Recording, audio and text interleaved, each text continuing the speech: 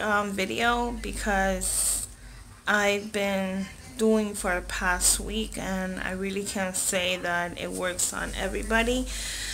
But I've been trying to I'm trying to lose weight at least 50 pounds.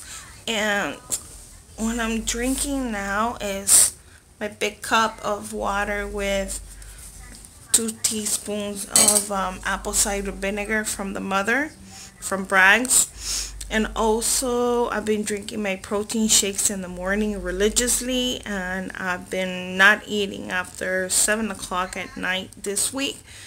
And I'm seeing baby results. Does that make any sense? Like I don't feel bloated anymore like after a certain time I just try not to eat. And I'm seeing myself that I'm not like bloated like before so I guess that's really working for me.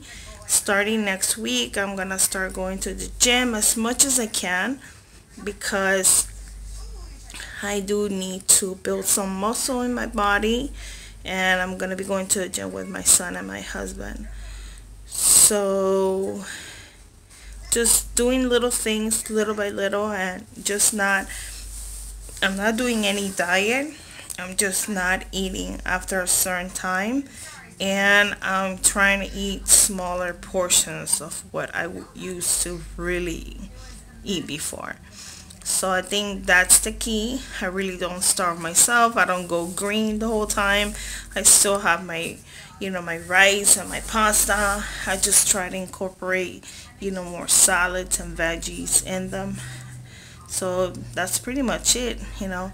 I'm gonna keep on doing this for this type of videos to see what the improvement is and uh, we'll see how it goes. I mean I'm really not weighing myself. I'm not going on the scale. I'm just gonna go by how I look in the mirror or in my jeans. So I'll keep you guys posted so if you guys do anything to stay motivated or if you guys drink anything like natural, um, I'm trying not to drink any pills at all because, you know, my husband and I are trying to conceive. So pills are no-no right now.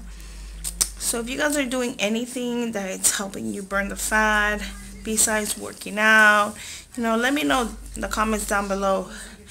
I've read so many things on the internet that my mind is just exploded. But I am gonna stick with what I'm doing and hopefully that will work because that's what I've done like at the beginning of last year and I have to stay motivated. So guys let me know down below what you guys do to stay motivated what do you guys cook. I'm gonna try to buy more chicken breasts and more fish as well. I haven't eaten pork chops so let's see. Wish me luck, guys.